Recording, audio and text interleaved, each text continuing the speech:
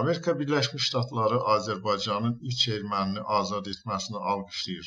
Trendin məlumatına görə bunu Amerikanın dövlət katibi Antony Blinken öz Twitter səhifəsində yazıb. Blinken bildirib, biz tərəfləri bütün saxlananları, əsirləri, məhkumları və həlak olanların meyitlərini dəyişmək prosesini tam və operativ şəkildə başa çatdırmağa, eləcə də saxlanılanlarla humanist davranmaq üzrə öhdəliklərə əməl etməyə çağırırıq.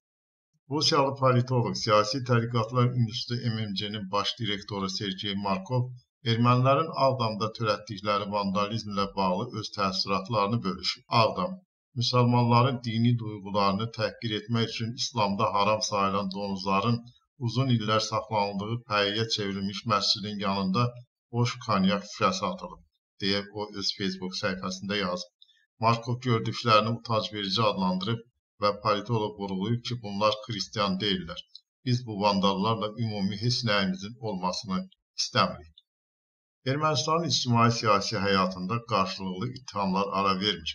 Belə ki, Ermənistanın baş naziri Nikol Paşinyan keçmiş prezidentlər Robert Köçəryan və Serj Sərkisyanı günahlandıraraq onların öz şəxsi mənafeləri naminə Qarabağı satdığını deyib. Robert Köçəryan və Serj Sərkisyan Siz vətən xainisiniz. Biz sizin satqınlığınıza mübarizə apardıq. Siz hətta müharibə zamanı da satqınlığınızı davam etdirdiniz deyə Paşinyan bildirib. Paşinyan Köçəryan və Sərkisyanı həmçinin ordunu müharibəyə hazırlamamaqda da ittiham edib.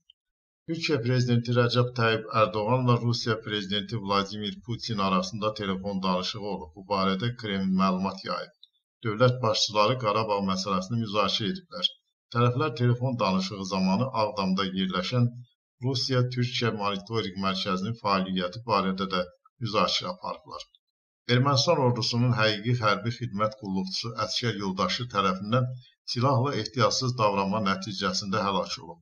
Ermənistan Müdafiə Nazirliyinin bildirdiyinə görə insident cənub istiqamətində yerləşən hərbi hissələrdən birində baş verib.